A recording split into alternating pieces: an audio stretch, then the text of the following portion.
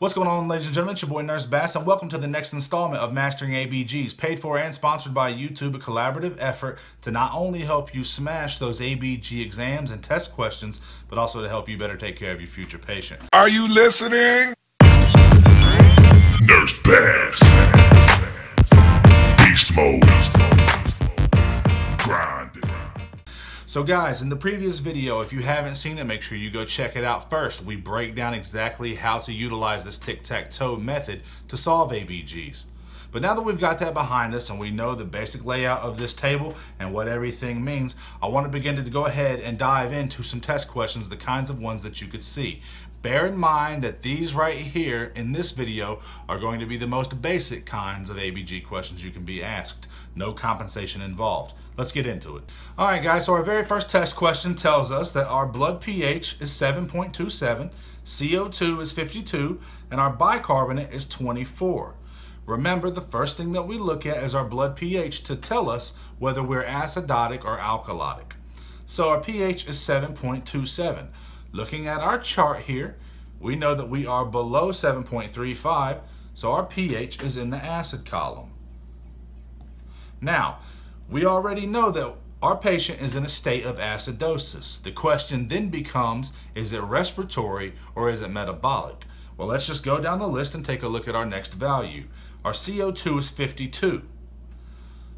Our CO2 is greater than 45, therefore it falls in the acid column. And then our bicarbonate is 24, falling right in between that normal range of 22 to 26. And so as we can see, our bicarbonate is normal, so we're not concerned about that. The way in which we utilize the tic-tac-toe method is whenever you have a value that falls in the same column as your pH, you know that that value is the cause of your pH, whether your pH is acidotic or if it's alkalotic or basic. So in this case, our blood pH and our CO2 fall in the same category, therefore our CO2 is the cause of our acidosis. So what is our answer? Our answer is respiratory acidosis. That's the way that we utilize this, uh, this board. As to alleviate confusion, let's just dive right into the next question and help you gain a better grasp on this concept. All right, guys, our next question tells us that we have a pH of 751, CO2 of 30, and bicarbonate of 23. Again, just to, I'm, I'm repeating this just to reiterate it to you. We always look at the pH first. 751 is above 7.45, therefore it falls in the alkalosis column. Our CO2 is 30.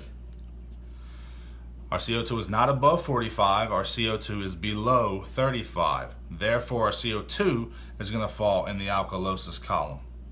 And then our bicarbonate is in between 22 and 26, therefore it is normal.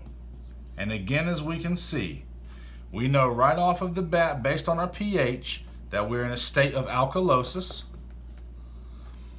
and it's going to be determined upon that value that falls in the same column as your pH. In this case, it's our CO2 that is the concern. Therefore, it is respiratory alkalosis. Let's dive into the next question. Okay, guys, for our third question, we have a pH of 7.33, a CO2 of 40, and a bicarbonate of 19. So just to reiterate, we look at the pH first. 7.33. Well, we know that 7.33 is below 7.35, so our pH is going to be in the acid column. Next, our CO2 is 40. That's in between 35 and 45, so we know that's normal. So we'll throw our CO2 in the normal column. And then our bicarbonate of 19 is below that 22, falling in the acid column. And so as we can see, our pH is in the acid column, so we already know we are in a state of acidosis. And what is the cause of our acidosis? It's going to be that bicarbonate related to the kidneys.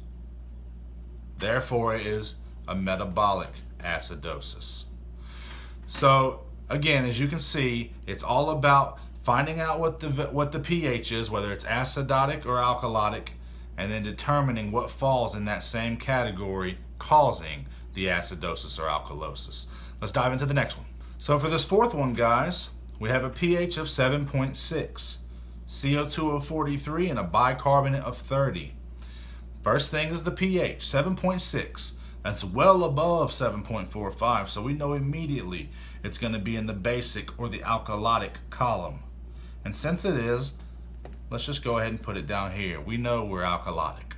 All right, CO2 of 43. 43 is in between 35 and 45, so that's going to fall in the normal category. And then our bicarbonate is 30, which is above 26.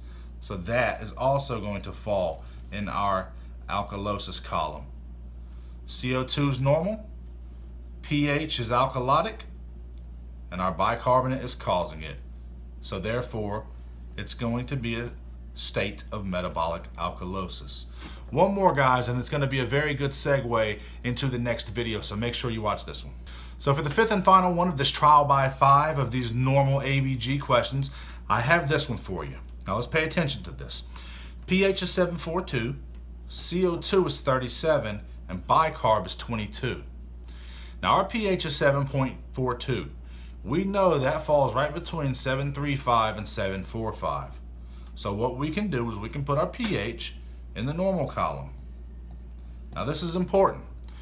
Just because you look at that pH first and it immediately tells you you have a normal blood pH, that does not mean that your patient is not experiencing some kind of acidosis or alkalosis.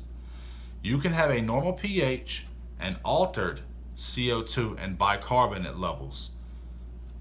Now I know that might be confusing, but we're going to dive into those further in the next video. But I wanted to point that out, that just because you have a normal pH does not mean your patient is healthy and not experiencing some form of acidosis or alkalosis.